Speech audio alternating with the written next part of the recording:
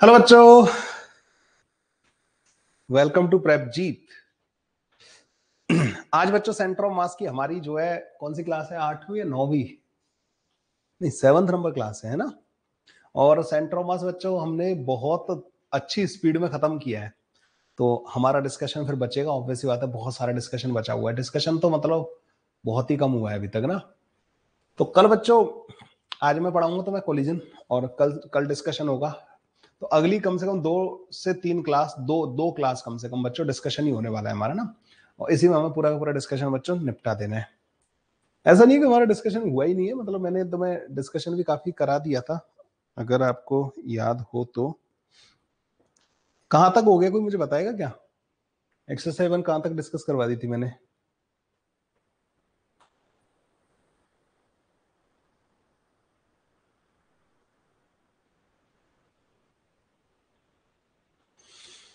हाँ जी।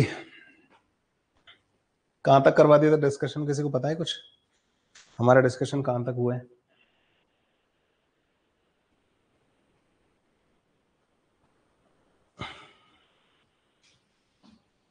Good afternoon Rahul Prince Vinay okay so start करते हैं बच्चों।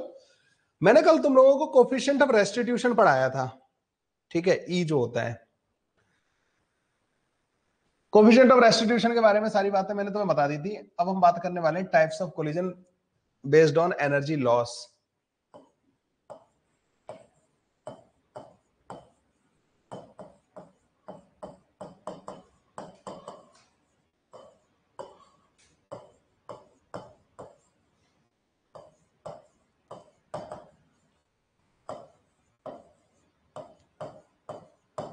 तो types of collision based on energy loss so energy loss के बेसिस पे अच्छा ट्वेंटी क्वेश्चन तक हो चुका है, ठीक है।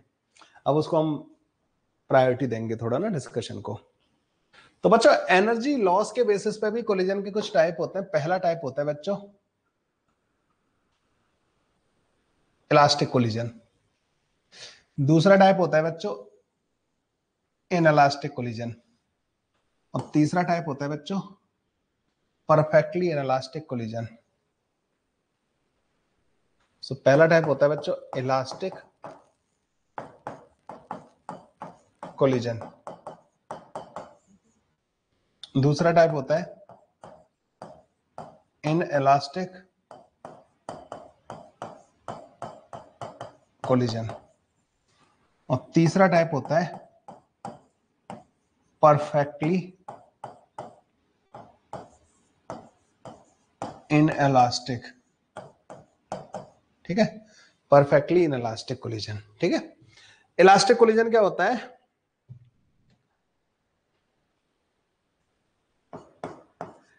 In this elastic collision complete reformation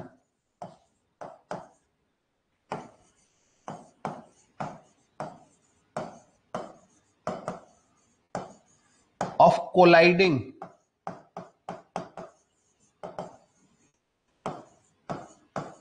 Bodies takes place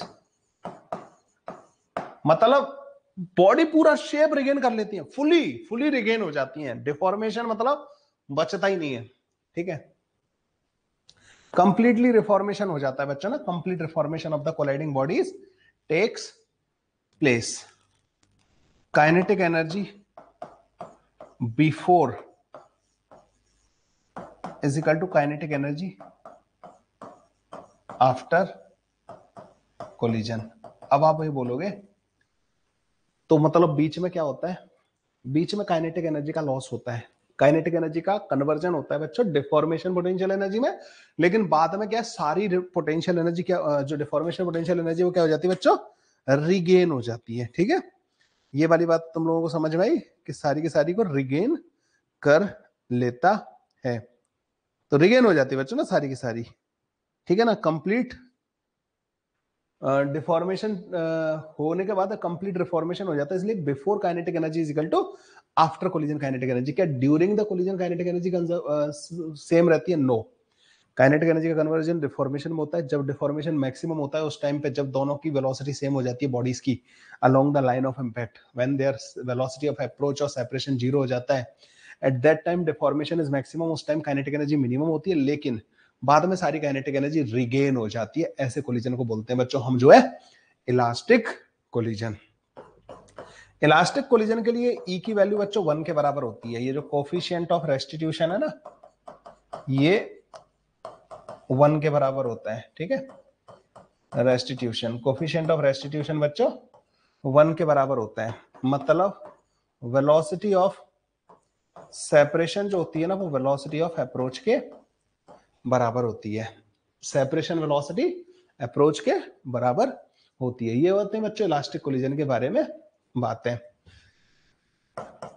इसमें क्या होता है, इन इलास्टिक में partial reformation takes place reformation तो होता है, लेकिन only partial reformation takes place यहाँ पे बच्चों पार्शियल रिफॉर्मेशन होता है।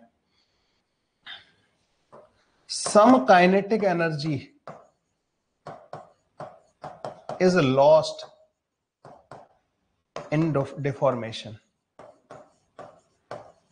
यहाँ पे बच्चों, कुछ डिफॉर्मेशन बच जाता है मतलब ना पूरी शेप रिगेन नहीं होती।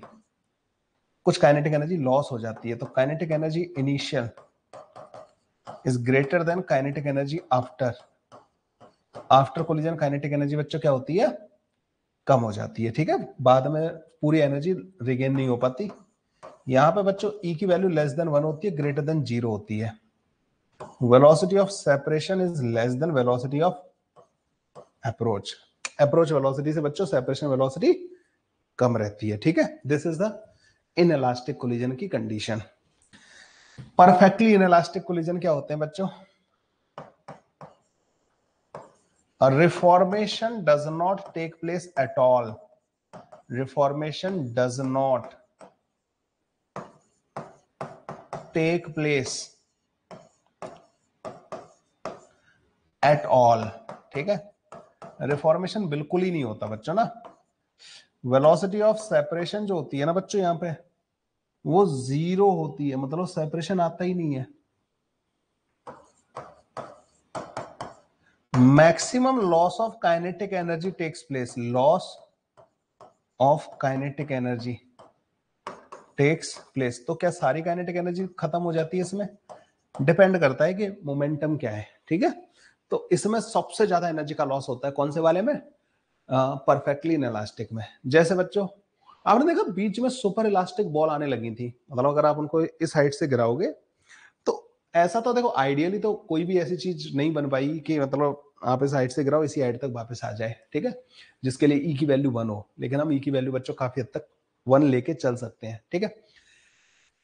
परफेक्टली इलास्टिक का एग्जांपल सबसे अच्छा एग्जांपल है, लड्डू होता है ना, लड्डू, ठीक है? मोतीचूर का लड्डू लो और उसको बॉल की तरह ट्रीट करो। उसको कहो कि भाई देख, मैं तेरे को फ्लोर पे गिराऊँगा, तू आके ऊपर बाउंड रिबाउंड करना, मैं तेरे को कैच कर लूँगा, ठीक है? तो मोतीचूर के लड्डू को पकड़ना और ऐसे करके गिरा देना। गिराने के बाद वेट करना, वो रिबाउंड करके आएगा, ठीक है? That is the perfect example of perfectly elastic collision तो परफेक्टली इलास्टिक कोलिजन में बच्चों रिबाउंड करेगा ही नहीं वो चीज़ ना। मतलब जो दो बॉडी एक दूसरे से टकराई, फिर वो एक दूसरे के साथ ही चलेंगी। Along the line of impact इनकी अप्रोच और सेपरेशन वेलोसिटी आएगी ही नहीं। ठीक है? इसमें बच्चों ई e की वैल्यू ज़ीरो के बराबर होती है। ई e की वैल्यू कितनी होती है बच्चों? ज़ीरो के बराबर। तो ये तीनों टाइप ऑफ़ कोलिजन समझ में आ गए? कल मैंने तुम्हें head on and oblique collision तो पढ़ा ही दिया था। Head on and oblique collision बच्चों, मैंने तुम्हें पढ़ा दिया था। अब सुनो। कोलिजन में जो है एनर्जी काइनेटिक एनर्जी कंजर्व रहेगी नहीं रहेगी, वो इस बात पर डिपेंड करेगा। ठीक है? काइनेटिक एनर्जी का क्या होगा? वो तुम्हारे पीछे लिखा हुआ है, ठीक है? लीनियर मोमेंटम का क्या होगा बच्चों? अगर कोलिजन के दौरान, अगर कोलिजन के दौरान नॉन इंपल्सिव फोर्सेस लग रहे हैं, ठीक है? या इंपल्सिव फोर्स नहीं है कोई भी तो लीनियर मोमेंटम बच्चों कंजर्व रहेगा। ठीक है? लीनियर मोमेंटम कंजर्व रहेगा। तो यहाँ पे एक पॉइंट करके लिख लेंगे बच्चों ना। तो काइनेटिक एनर्जी की बात तो हो गई, अभी एक इंपॉर्टेंट पॉइंट है।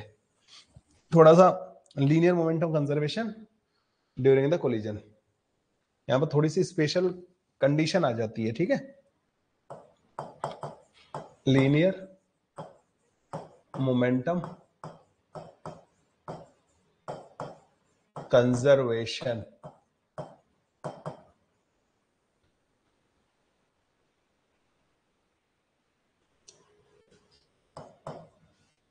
ठीक है? देखो भाई। ड्यूरेशन ऑफ़ कोलिजन जो होती है ना, वो बहुत स्मॉल होती है। Duration of collision is very small ठीक है? ड्यूरेशन ऑफ़ कोलिजन बच्चों बहुत छोटी होती है। If impulsive forces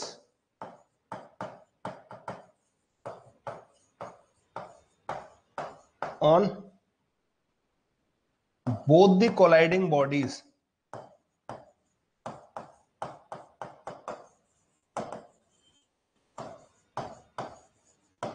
और वो भी कौन से?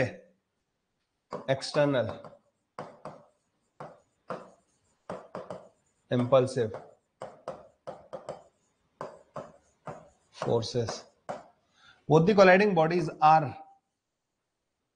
zero then linear momentum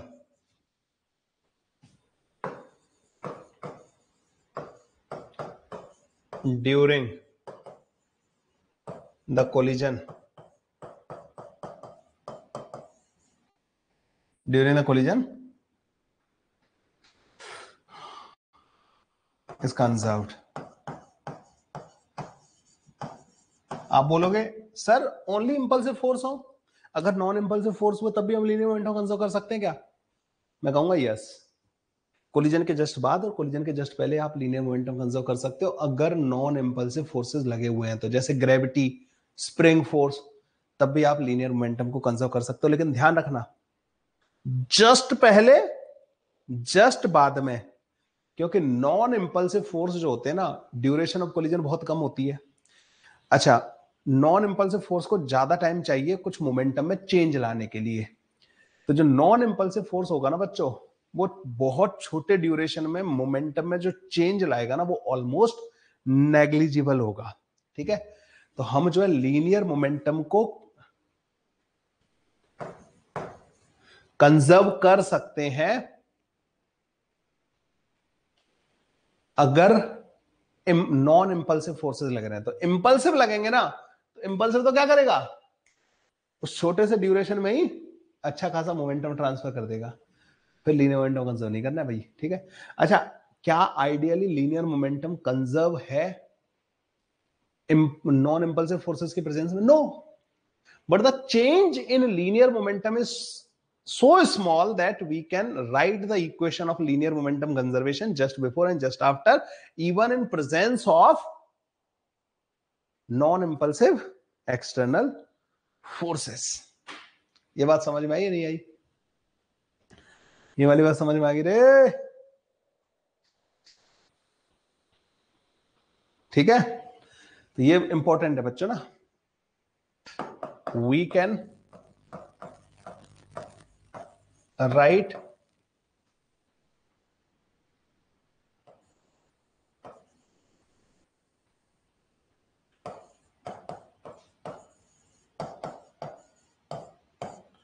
before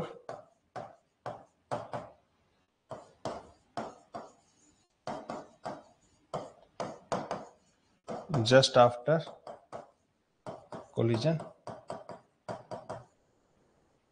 in presence of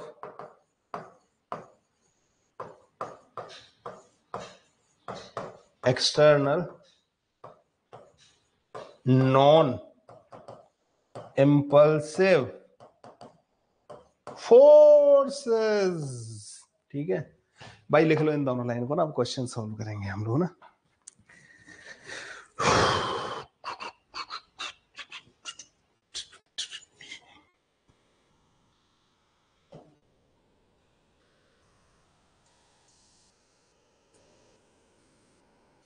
ये हम लिख सकते हैं, ठीक है? क्योंकि इसमें जो चेंज आएगा ना बच्चों नॉन इम्पल्सिव फोर्स की वजह से लीनियर मोमेंटम में बहुत नेग्लिजिबल होगा।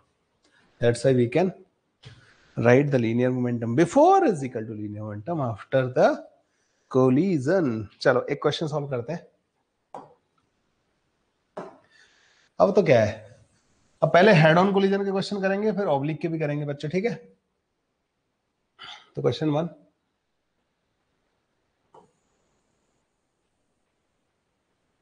ये किसके? हेड ऑन कोलिजन के।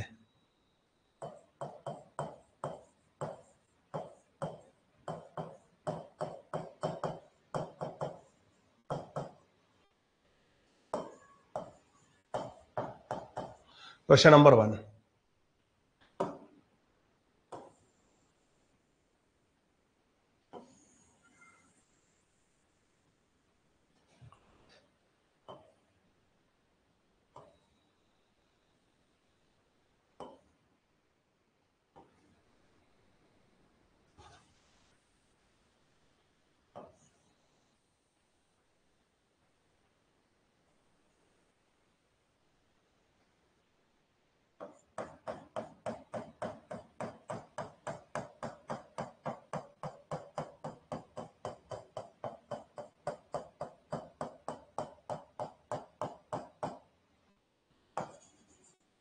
मान लो इसका मास टू एम के बराबर है, इसका मास एम के बराबर है बच्चों, ठीक है? ये आके इससे टकरा रहा है वी नॉड की स्पीड से। कई की स्पीड से? V naught. इसका स्प्रिंग कांस्टेंट के के बराबर है। ये सरफेस स्मूथ है। कोफिशियंट ऑफ़ रेस्टिट्यूशन बच्चों, इनके बीच में ई e की वैल्यू वन बाई टू के बराबर दे रखी है।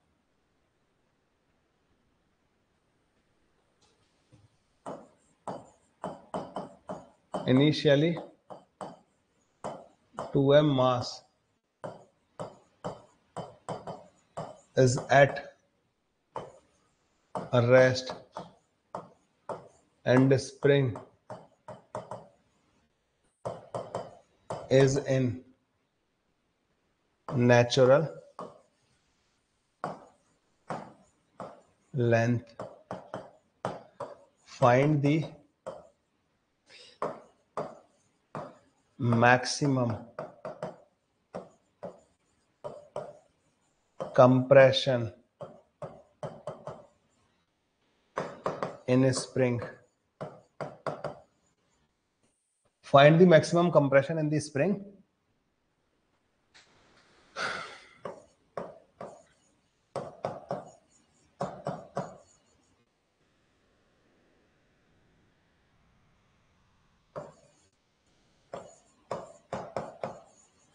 after the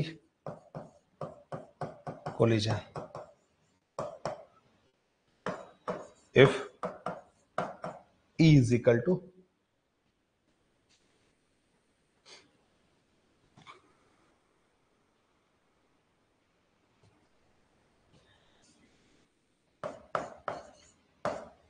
one by three ठीक है? तो इसमें वर्क पावर एनर्जी भी ले आए हम बीच में, टक्कर भी ले आए और आपके सर तो औसम है ही यार। क्या नहीं लेके आ सकते हम इन क्वेश्चंस के? बीचों? बीच।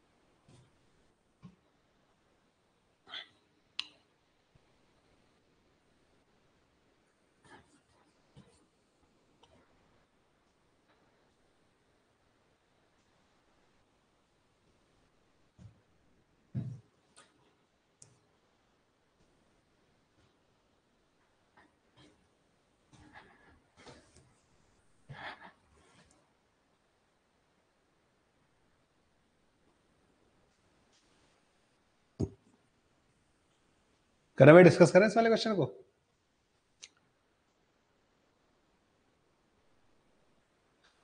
देखो बच्चों, ये just before the collision condition है, ठीक है? और जस्ट आफ्टर मैं लिख रहा हूँ कि मान लो जस्ट आफ्टर जस्ट आफ्टर इनकी वेलोसिटी कैसे होंगी? मुझे नहीं पता किधर होंगी, ये इधर जा रहे होंगे हाँ इसका पता टक्कर होगी तो ये इधर जा रहा होगा तो इसकी वेलोसिटी मैंने वी मान ली इधर। इसकी किधर होगी? पीछे भी जा सकता है, इधर भी जा सकता है। कोई फ़र्क नहीं पड़ता just consider velocity in any of this direction ठीक है? इसको लिख देना v1 और इसको लिख देना बच्चों v2 और इसका मास है बच्चों 2m और इसका मास है बच्चों m, ठीक है? एक का मास 2m हो गया और एक का मास हो गया बच्चों m के बराबर। अब क्या करोगे?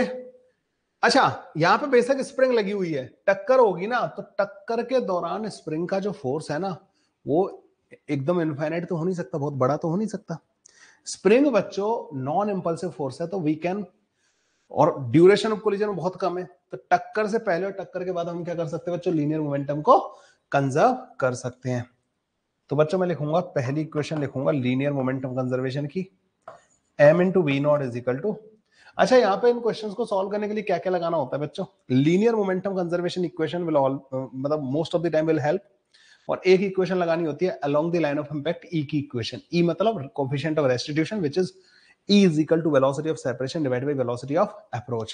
ये दो equation most of the time help कर देती हैं।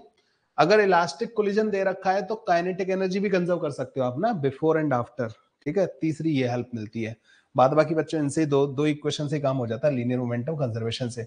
तो m into v naught is equal to two m into v one plus का m इंटू वी टू ठीक है this is our first equation कहाँ से आई? लीनियर मोमेंटम कंजर्व कर दिया बिफोर एंड आफ्टर अब दूसरी इक्वेशन कहाँ से आती है बच्चों? ई e की। ई e मतलब one upon three is equal to velocity of separation ये क्या होता है बच्चों? Velocity of separation divide by velocity of approach एक बात बताओ, टक्कर के बाद ये ज़्यादा तेज जा रहा होगा, ये पीछे वाला स्लो आ रहा होगा, क्योंकि टक्कर के बाद दोनों सेपरेट हो गए।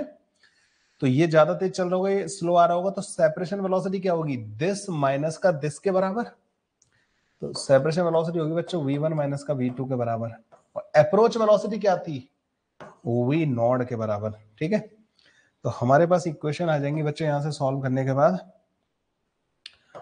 टू वी वन प्लस का v two is equal to v naught v one minus का v two is equal to v naught divided by three we add both of the equation 3v1 comes out to be 4v naught by 3 v one की value आ जाएगी बच्चों four v naught by nine के बराबर। मतलब इसकी मेरे पास speed आ गई। अब ये बताओ बच्चों, टक्कर के बाद क्या होगा? अच्छा वी टू कितना आ रहा है? V two two v one v two की वैल्यू भी पता कर लेते हैं। Two v one v one की वैल्यू पुट कर दें यहाँ पे। Four v naught by three plus का v two is equal to v naught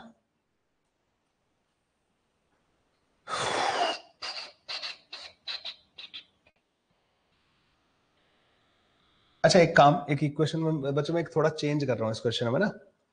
अभी ज़्यादा हुआ भी नहीं कुछ। ई e की वैल्यू बच्चों वन बाई टू ले लेना। ई e की वैल्यू बस वन बाई टू ले लो, और कुछ नहीं। जहाँ जहाँ ये ना। बस इसको वन बाई टू कर दो।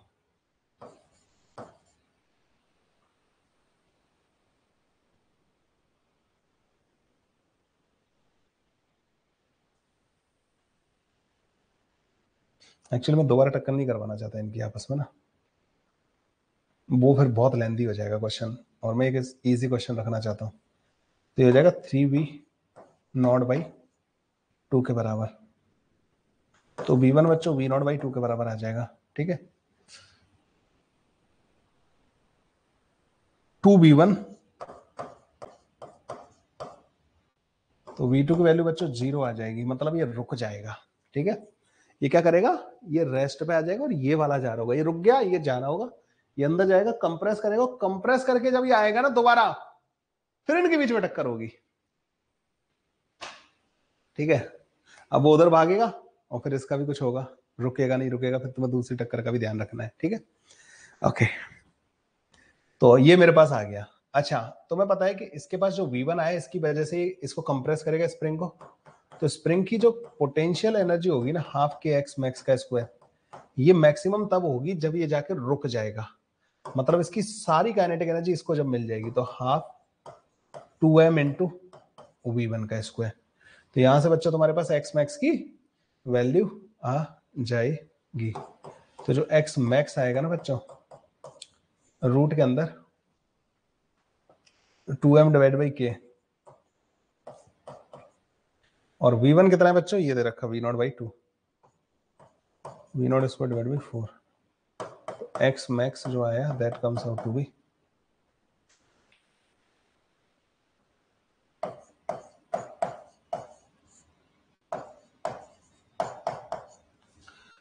this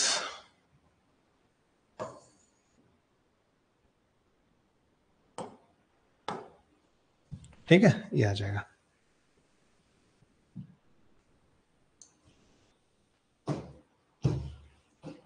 समझ में आया बच्चों? लीनियर मोमेंटम कंजर्वेशन इक्वेशन यहाँ पे बहुत अच्छे से लगती है।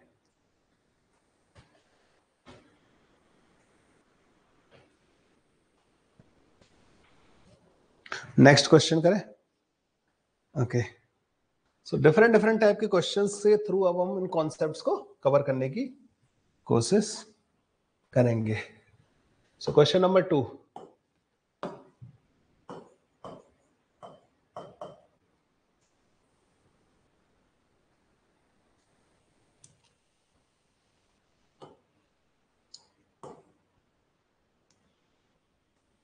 there is a ball of mass 2m and another ball of mass, m. तो ये बच्चों 2m एम मास की है और ये वाली एम मास की है। और they both are moving towards each other with velocity v naught with velocity v naught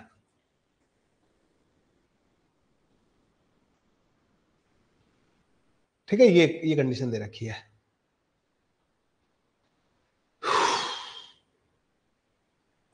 E e की वैल्यू बच्चों वन बाई टू के बराबर दे रखी है, ठीक है। आपको पूछा है इन्होंने इंपल्स ऑफ़ अच्छा तुम तो ये बताओ पहले।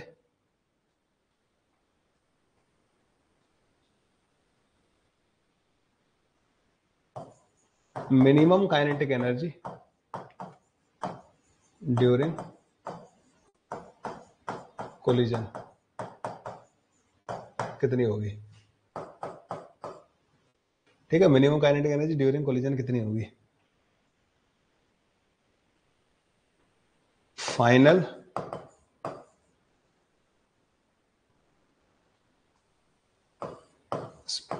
velocity of both after collision.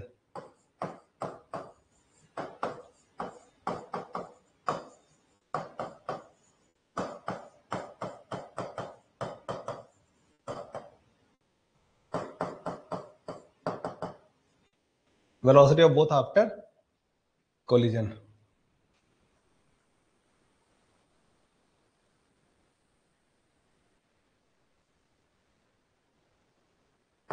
impulse of a reformation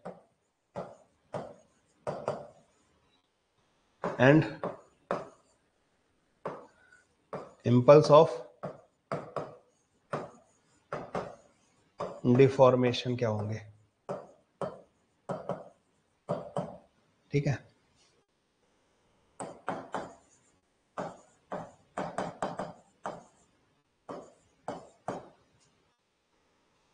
करो भाई इस क्वेश्चन को सॉल्व करो। Impulse of reformation and impulse of deformation आप लोगों को बताना है।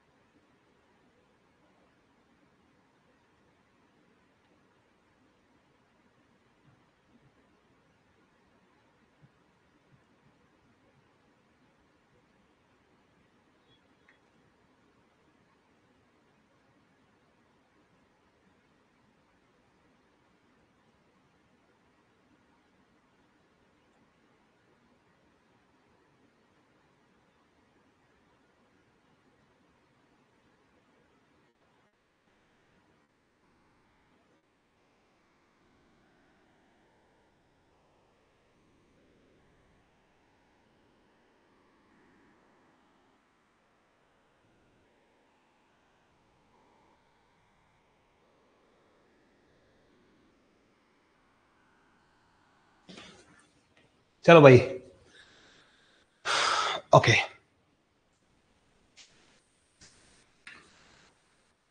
देखो, जब इनकी टक्कर होगी ना तो एक टाइम पे मैक्सिमम डिफॉर्मेशन आ गया होगा।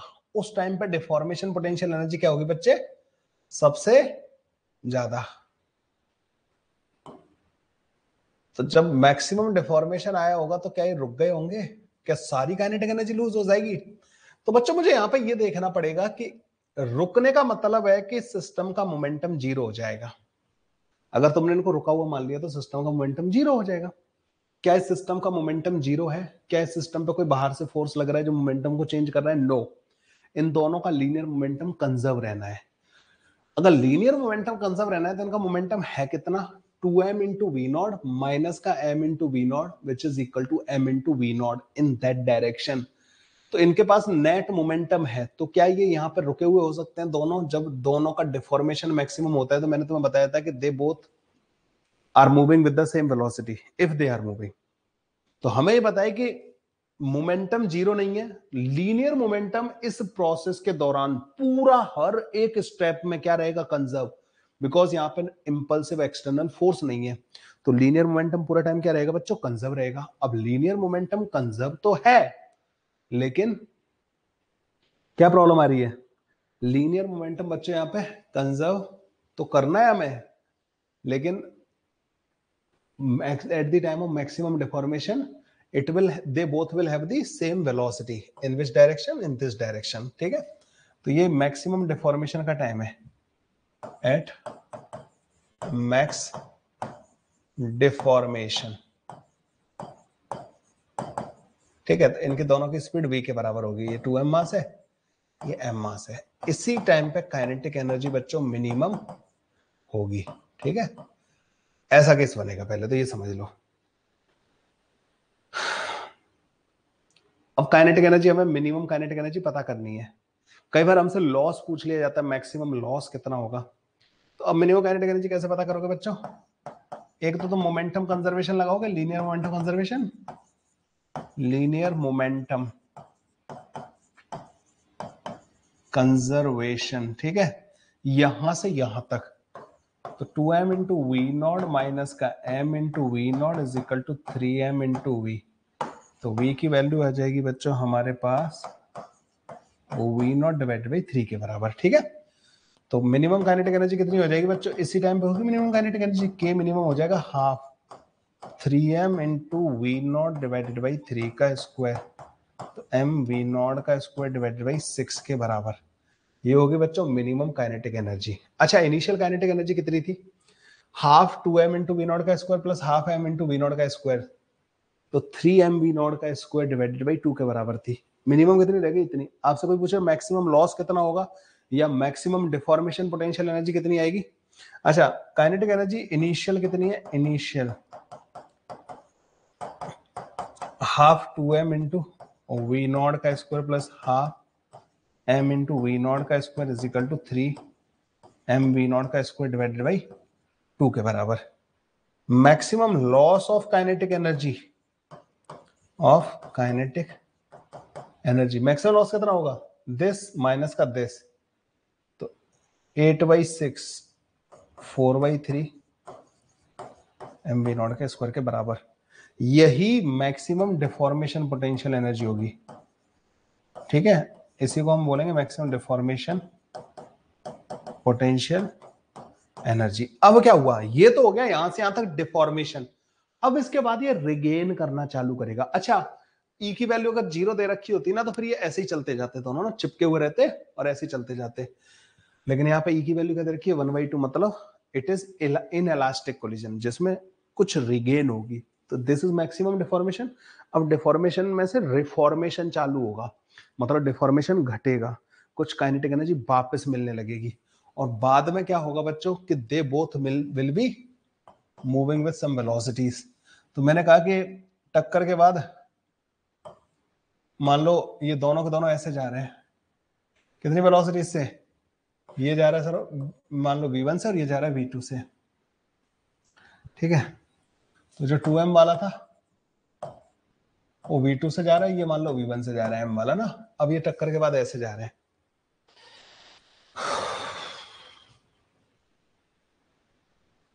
तो सेकंड वाला पार्ट आप सॉल्व कर रहे हैं, ठीक है? सेकंड वाला क्या है? ये पहला वाला पार्ट था। सेकंड वाला पार्ट क्या है? वेलोसिटीज आफ्टर द कोलिजन कैसे पता करोगे? हमारे पास दो वेरिएबल हैं V1 और V2 एक तो बच्चों, में यहाँ से यहाँ तक मोमेंटम कंजर्वेशन और दूसरी इक्वेशन किसकी लगाऊँगा? ई e की।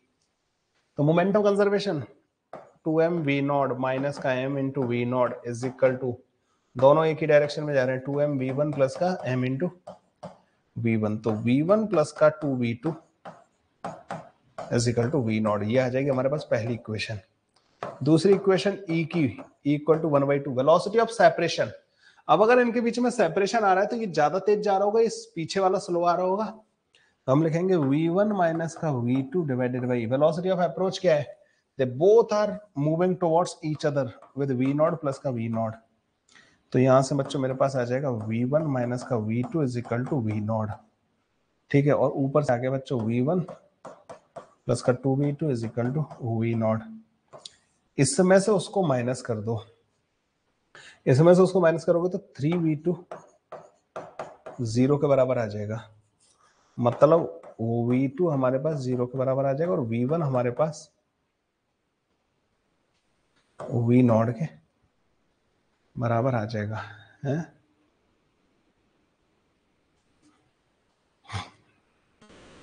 तो टक्कर के बाद ये वाला रुक जाएगा और ये सारे का सारा वेलोसिटी लेके जा रहा होगा। ठीक है?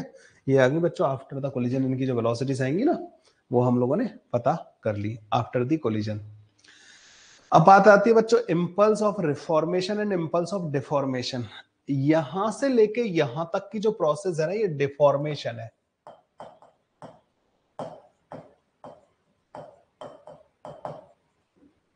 अब एक बॉडी को पकड़ लो, कौन सी वाली को? इसको पकड़ लेते हैं।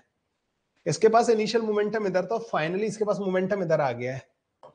इंपल्स ऑफ़ डिफॉर्मेशन जो आएगी ना इस बॉडी पे, वो आएगी हमारे पास। इसकी वेलोसिटी यहाँ पे कितनी है? V naught by three m into v naught by three ये फाइनल मोमेंटम है इनिशियल मोमेंटम इसका इतना था। तो ये आएगी माइनस एक मिनट ना four by three m v naught के बराबर। ये हो गया इंपल्स ऑफ़ डिफॉर्मेशन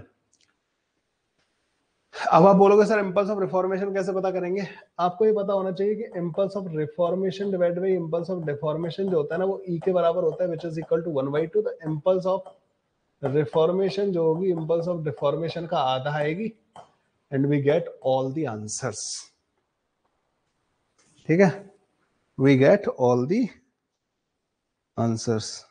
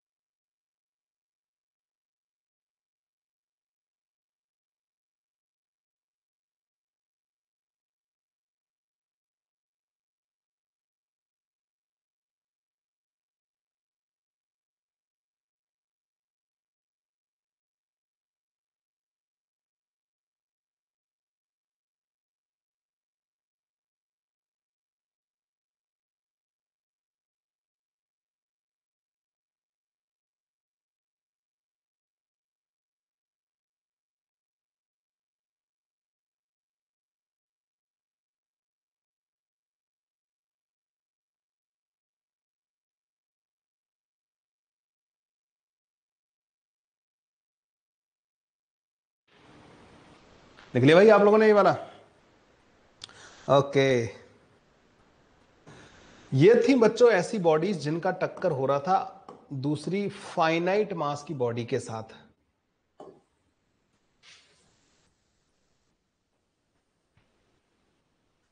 अब आते हैं बच्चों heavy collision with heavy body और fix surface collision with heavy.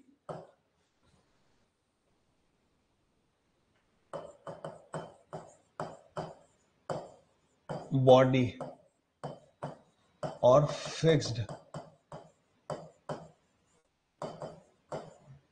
Surface, ठीक है? टक्कर बच्चों, हैवी बॉडी या फिर फिक्स सरफेस के साथ अगर टक्कर हो रही है तो ठीक है? कोलिजन विद हैवी बॉडी और fixed surface.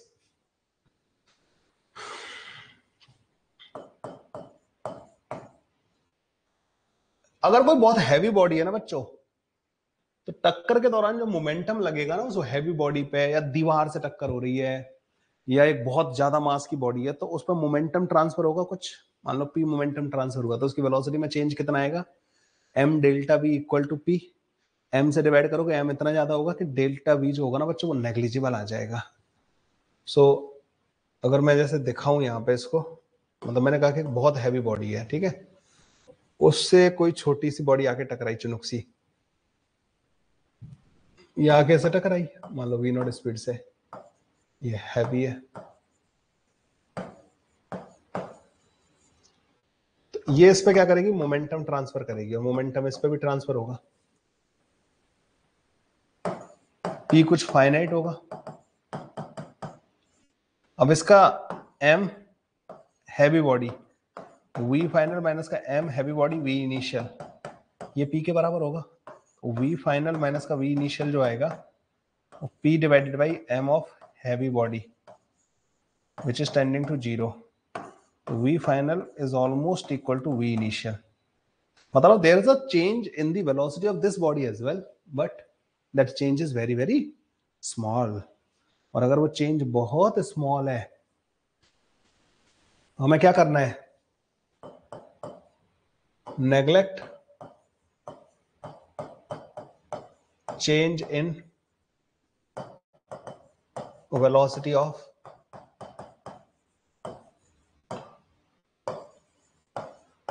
heavy body do not write the equation of linear momentum conservation क्योंकि तुमने इसमें जो चेंज आया ना मोमेंटम की वजह से, उस चेंज को तुमने नेग्लेक्ट कर दिया। अगर तुम मोमेंट अगर इसकी वेलोसिटी फाइनल इनिशियल सेम मान के तुम मोमेंटम कंजर्वेशन इक्वेशन लगाओगे तो क्या रिज़ल्ट देगा वो? गलत रिज़ल्ट देगा। क्या यहाँ लीनियर मोमेंटम कंजर्व नहीं रहेगा? होगा, लेकिन जो ये नेग्लेक्ट कर दे रहे हैं ना, इसकी वजह से वो कंजर्वेशन प्रिंसिपल अब हम लगाएँगे नहीं। ठीक है? क्वेश्चन को सॉल्व करने के लिए हम ऐसा नहीं करेंगे। So do not write linear momentum conservation equation ठीक है? Do not write linear momentum conservation equation कौन सी इक्वेशन यूज़ करनी है? Use equation of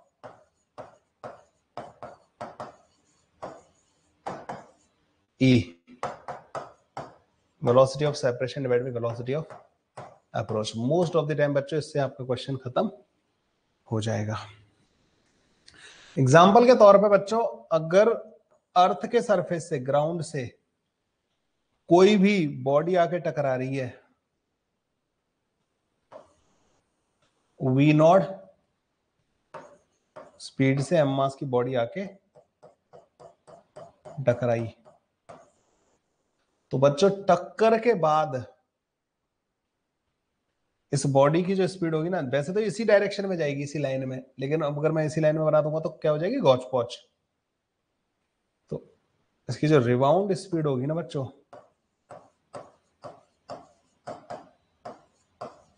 E times v naught के बराबर होगी। अच्छा ये ध्यान रखना, ये सरफेस रेस्ट पे ओनली इन दैट केस क्योंकि वेलोसिटी ऑफ़ अप्रोच क्या है इसकी? वी नॉट तो वेलोसिटी ऑफ़ सेपरेशन क्या होगी? E times velocity of approach के बराबर। अरे वेलोसिटी ऑफ़ सेपरेशन जो होती है वो e times velocity of approach होती है। तो अप्रोच वेलोसिटी वी नॉट है तो सेपरेशन वेलोसिटी ये तो चल नहीं रहा। मतलब यही जा रहा होगा। कितनी वेलोसिटी से जा रहा होगा? ई टाइम्स वी नॉट की रेट से। जब भी ग्राउंड से कोई बॉडी आके टकराएगी ना तो वो ई टाइम्स स्पीड से रिबाउंड करेगी। ठीक है? ज़मीन से टकराएगी ना बच्चों? ई e टाइम्स की स्पीड से वो रिबाउंड करेगी। ई e टाइम की ई e टाइम्स की स्पीड से वो रिबाउंड करेगी।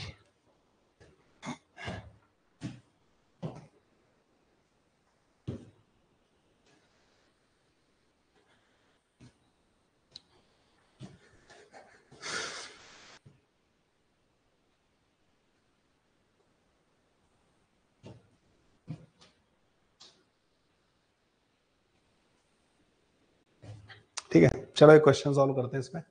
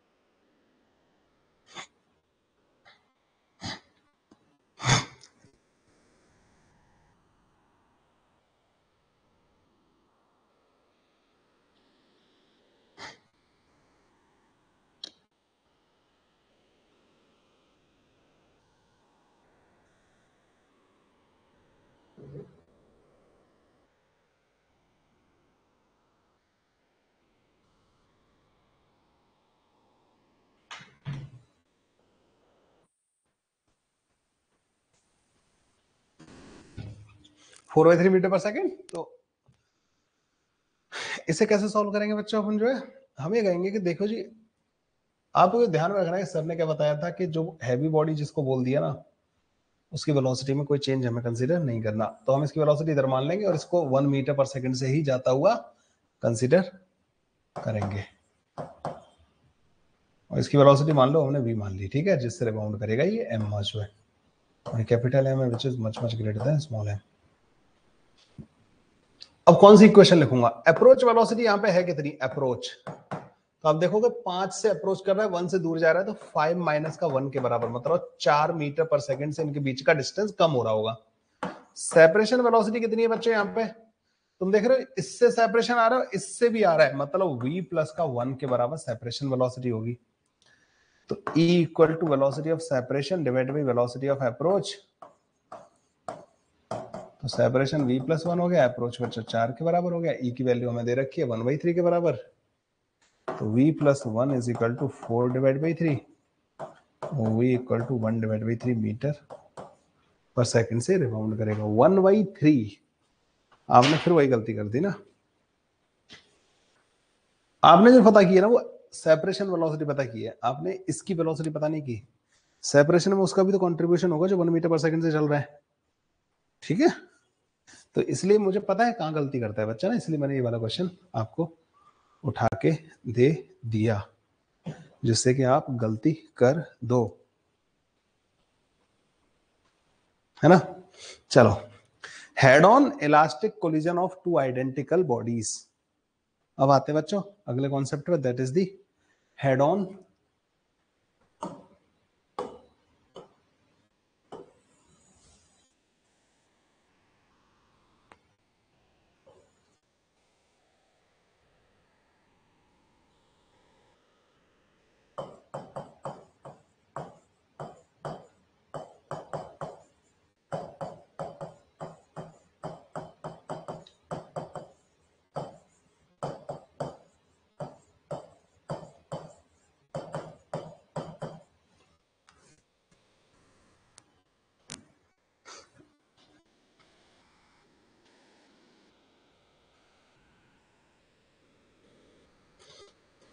head on elastic collision of two bodies head on elastic collision of two bodies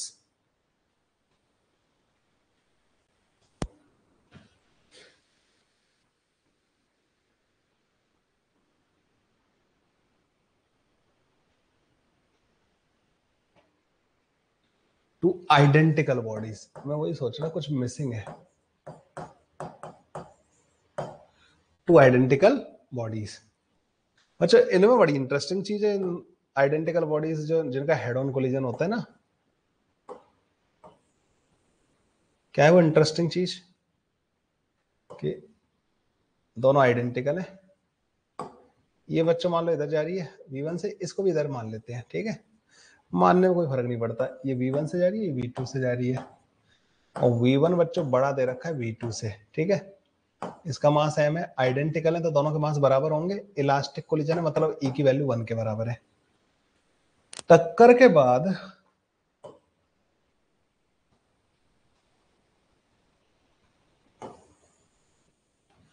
टक्कर के बाद क्या हुआ बच्चों?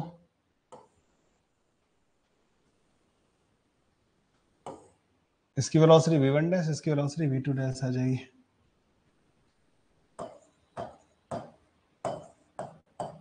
ठीक है, ये एम मास की है। ये भी एम मास की है, ठीक है? आफ्टर कोलिजन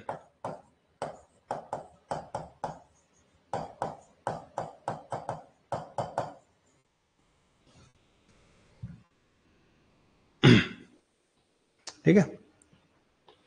आफ्टर कोलिजन ये आ जाएगा। तो बच्चों, सबसे पहली इक्वेशन लीनियर मोमेंटम कंजर्वेशन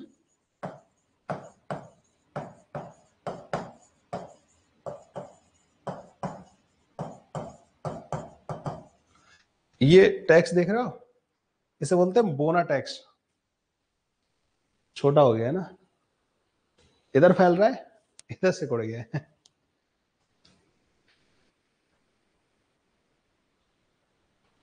तो जल्दी करना कहा, कहाँ जाना है हमें?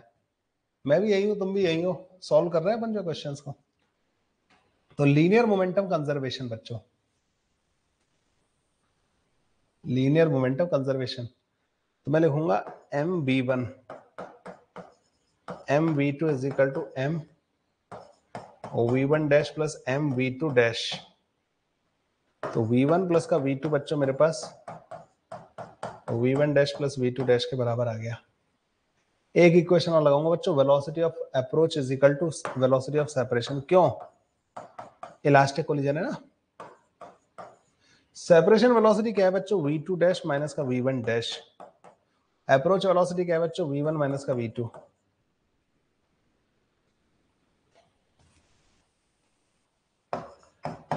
v one plus का v two is equal to v one dash plus v two dash है और वी टू डैश माइनस का v one dash v one minus का वी टू के बराबर है। इन दोनों को कर देते हैं ऐड वी टू डैश जो है वी वन के बराबर आ जाएगा। V two dash v one के बराबर आ गया तो वी वन डैश जो है, वो वी टू के बराबर आ जाएगा। तो वेलोसिटीज क्या हो जाएँगी?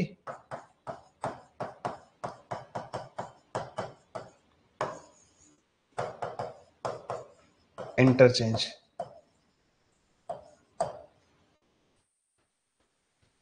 वेलोसिटीज इंटरचेंज हो जाएँगे बच्चों ना।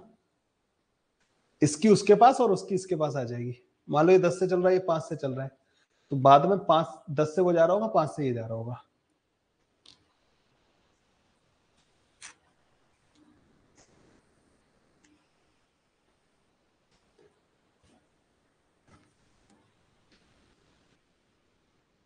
ठीक है? Velocities are interchange so linear window conservation से हमारे पास ये आ जाएगा।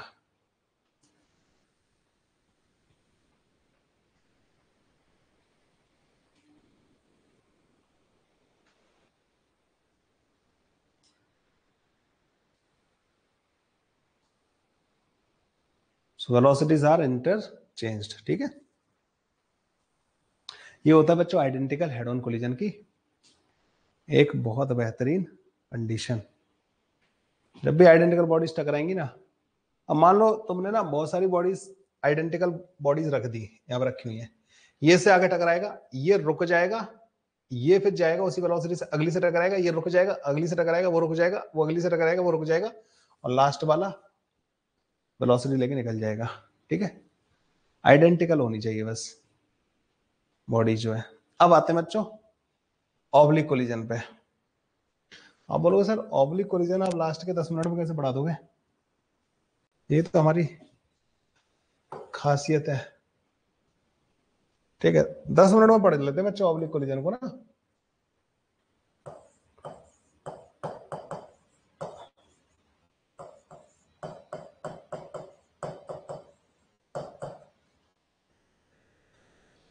ऑब्लिक कोलिजन जो होता है ना बच्चों, मान लो कुछ इस टाइप का टक्कर हो रहा है ना? ये एक बॉडी है।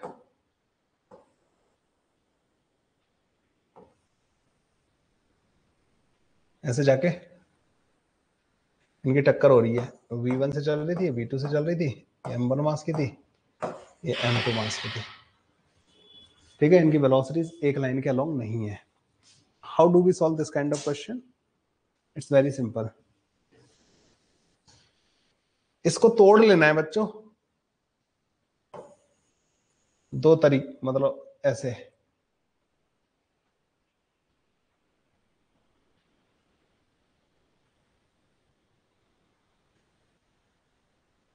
इसे बोलते बच्चों लाइन ऑफ़ इंपैक्ट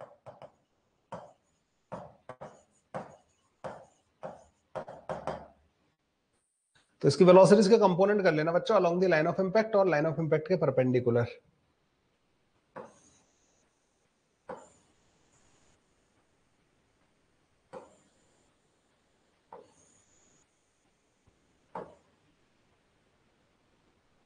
ठीक है? Along the line of impact और लाइन ऑफ़ इंपैक्ट के परपेंडिकुलर कंपोनेंट कर लेना। V2 perpendicular, V1 perpendicular. Along the line of impact,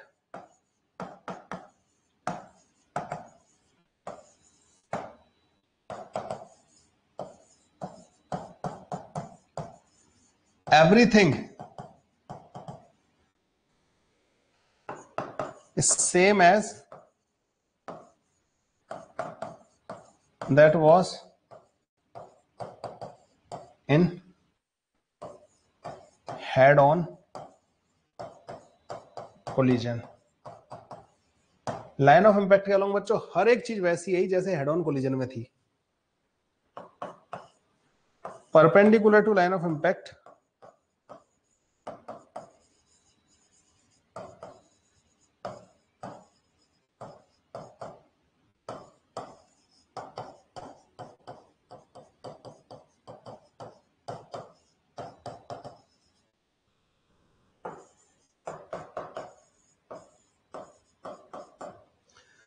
perpendicular component of velocities to line of impact does not change during collision. और इसमें ये ध्यान रखना bodies smooth होनी चाहिए ठीक है? स्मूथ बॉडीज का। सो so, अगर स्मूथ बॉडी टकरा रही है बच्चों तो उनका ही perpendicular component before the collision और आफ्टर द कोलिजन सेम रहेगा। बस आपको बॉडी को लाइन ऑफ़ इंपैक्ट ढूंढ लेनी है मोशन को ब्रेक कर लेना है along the line of impact और perpendicular to line of impact अगर तुम, तुम्हें ये पता है कि ये वाली वेलोसिटी बाद में भी एज इट इज़ रहने वाली है, ये वाली बाद में भी एज इट इज़ रहने वाली तो इनको भूल जाओ तो अब तुम्हें ऐसा लगेगा कि ये और ये दोनों एक दूसरे से आके इस, इन वेलोसिटी से टकरा रही है। तो तुम्हें लाइन ऑफ़ इंपैक्ट के अलोंग इन दोनों की आफ्टर द कोलिजन वेलोसिटी माननी है माननी है ई e की इक्वेशन लिखनी है लीनियर मोमेंटम की इक्वेशन लिखनी है और काम कर देना है खत्म।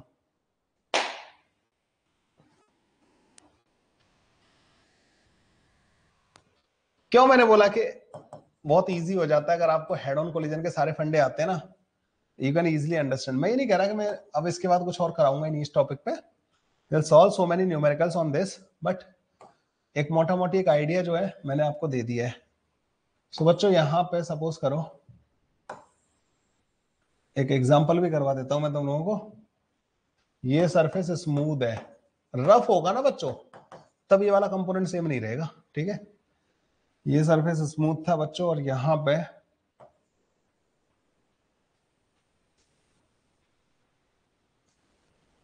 दस मीटर पर सेकंड से बॉडी आके टकरा रही है at an angle of thirty seven degree e की वैल्यू बच्चों मान लो वन बाई टू के बराबर दे रखी है। तो पता है आफ्टर द कोलिजन क्या होगा? या ड्यूरिंग द कोलिजन में क्या होगा? तो आप कहोगे कि इसके पास दो वेलोसिटीज हैं, एक इधर एक इधर। लाइन ऑफ़ इंपैक्ट कौन होगी? ये वाली। Along the line of impact head on collision के फंडे लगा देना। ये होगा ten cos thirty seven eight metre per second ten sine thirty seven six metre per second तो टक्कर के बाद बच्चों, पता क्या होगा? टक्कर के बाद this will go like this this one like this ये छह मीटर पर सेकेंड ही रहेगा और ये ई टाइम्स एट हो जाएगा। चार मीटर पर सेकेंड। इधर वाला कंपोनेंट ई टाइम्स हो जाता है ना? बस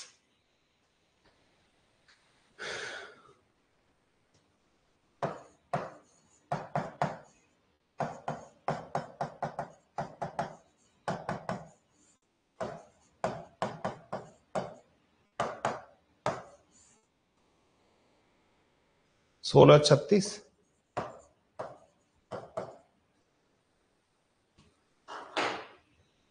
ठीक है भाई? सो होमवर्क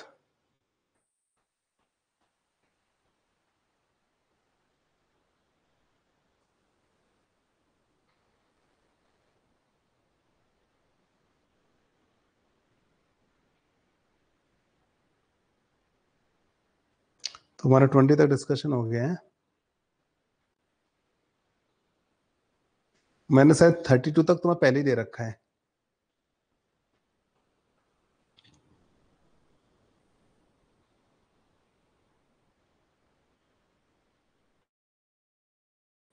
कल बच्चों फिफ्टी वन तक डिस्कस करेंगे हम लोग ना? कल की क्लास में फिफ्टी वन तक डिस्कस करेंगे और लास्ट में मैं तुम्हें ये वेरिएबल मास सिस्टम पढ़ाऊँगा और फिर उससे अगली वाली क्लास में एक्सरसाइज वन पूरी कंप्लीट करेंगे, ठीक है? अलोंग विद एक्सरसाइज टू कल तो मैंने बता दिया ना तो मैं फिफ्टी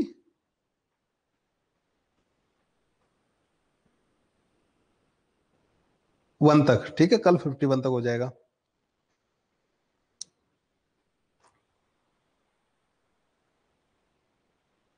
कुछ मैंने होमवर्क पहले इसमें से भी दे रखा था ना सेवन क्वेश्चंस के बाद, जो मुझे याद है मैंने टेंथ तक शायद दे रखा था। ठीक है तो कल करके आओ बच्चों? ठीक है? कल मिलते बच्चों, कल डिस्कशन करते हैं पहले सेंट्रोमास का। परसों बच्चों में तो मैं गैप दे दूँगा, परसों में रोटेशन स्टार्ट कर दूँगा, या इलस्ट्रेशन वगैरह करा दूँगा इसके, ठीक है? इलस्ट्रेशन वेरिएबल मास सिस्टम और परसों के बाद अगले दिन फिर डिस्कशन कर लेंगे हमारी सब्जेक्टिव और इसका। ठीक है? चल भाई, आज के लिए बस इतना ही।